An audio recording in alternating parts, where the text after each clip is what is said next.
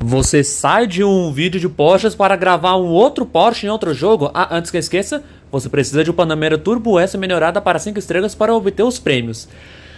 Ou seja, se você economizou todos os esforços, nem foi atrás da Miura Concept, ou nem fez questão de ir atrás do carro esperou o Panamera vir, acredito eu que foi o melhor negócio que você pode possa ter feito. Bom, e no vídeo da, da Miura Concept já havia falado de que não ia fazer a caçada do Panamera. E, de fato, eu não fiz. É, mas pra quem tá precisando de um carro top C, ou um carro pra elite, ou um carro com um desempenho bem diferentão, ou com um layout que não é tão visto assim, vale a pena se esforçar um pouquinho pra ir atrás do Panamera, mas vamos por partes. O bicho só vai entrar na elite com ACC na frente do Bugatti EB110 e por consequência é ele que vai tirar o Arneira.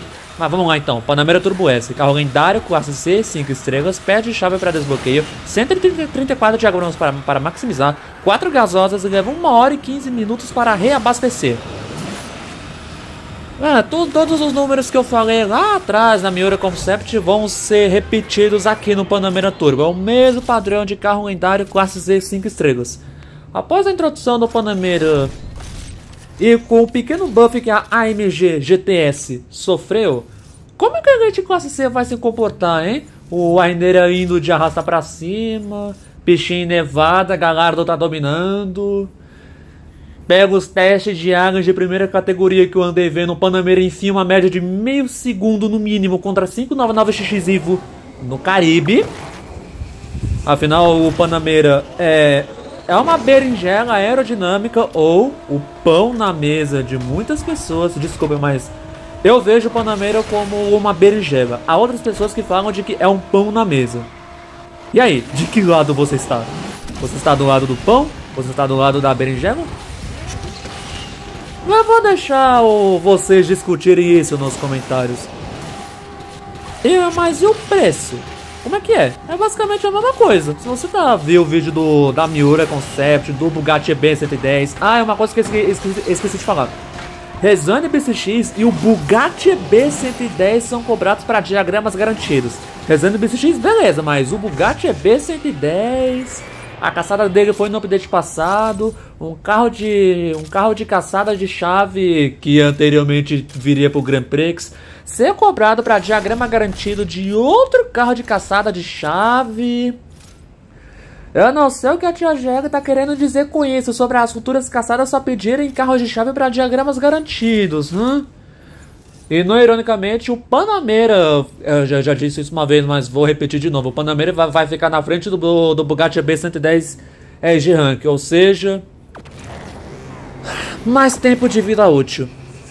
E se eu não estiver enganado, é o segundo sedã de luxo que vem pro jogo. Acho que antes dele só tinha vindo o Bentley Continental GT Speed, que acabou se tornando famoso por outros motivos envolvendo o Bentley da classe D. Bom, o Bentley é 4 é estrelas e é um dos melhores carros 4 estrelas do jogo. O Panamera deu uma arrancada a nível Ares S1 e deixa muito carro de arrancada maluca para trás, incluindo o Corsinha, que eu não gostei. Mas vamos lá. Panamera perde duas peças épicas, quatro raras e nove comuns em cada tributo para adorar, com uma média de aproximadamente 10 milhões e 400 mil créditos para adorar. Bom, você levar em consideração de que o Panamera estreou por caçada, é um carro de, entre aspas, de graça que você pode pegar, só precisa ter a paciência de levar para a quinta estrela para depois desbloquear. Nossa, dois diagramas? O drop do Panamera tá tão bom assim, é? É, é uma pena que eu não tô tão focado nesse jogo como costumava estar no passado. Bom, mas uma balsa dessa superar o Resane BCX uma arrancada? Beleza, é pra ficar surpreso. Superar o Donkey Vort numa arrancada? Aonde que o Donkey Vort D8 GTL foi referência em aceleração, hein? No jogo idoso? que mais? O Panamera deixa o Corsinho, o Corsa RS Turbo pra trás numa arrancada. Isso é surpreendente.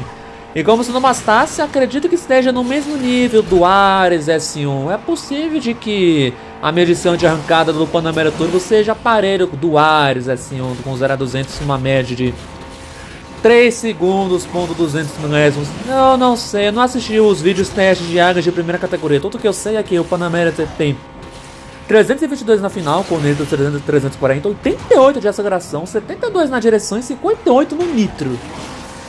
Um carro de aceleração maluco, de, de, de direção boa, sem com Nitro tão empolgante, uma final apenas ok. Hum, Lamborghini Revuelto, que mais? Koenigsegg Gemera, Rimac Nevera, são os carros que vieram na minha cabeça sobre esses tipos de carros que aceleram pra caramba, tem uma final boa, mas não tão boa ao, ao nível os topos de classe, não tem nitro e vira muito bem. E qual que é o resumo do Panamera? É um carro que vale a pena ir atrás, ao contrário da Miura Concept. Vai participar da Elite Classe C, vai dar umas fichinhas no evento Elite. Como é Nevada, talvez tenha uma leve potencial de entrar no top 100, apesar de que eu não boto tanta fé porque a Galardo tem mais sinal e a McLaren GT sabe acelerar. Mas vamos ver os testes. Mas é, eu fico em cima do muro do Panamera Turbo S. Vai entrar na Elite Classe C, acelera pra caramba, tem final bastante para superar os bichinhos de direção.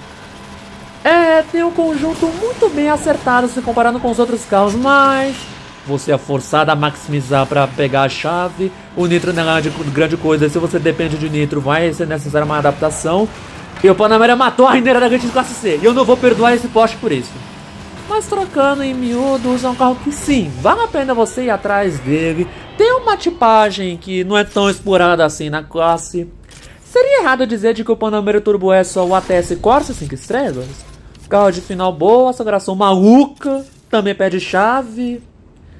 Sei não, hein? Vamos discutir isso nos comentários? Bom, o vídeo vai acabar por aqui. Espero que vocês tenham gostado. Comenta aqui embaixo o que acharam. Me sigam nas redes sociais. Muito obrigado por assistirem e a boa Deus.